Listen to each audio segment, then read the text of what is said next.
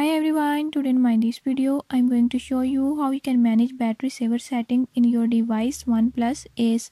In this video I'll tell you a few tips and tricks that you can use to do it.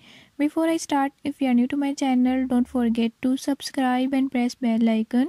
Watch complete video and learn how you can do it. Let's watch the video.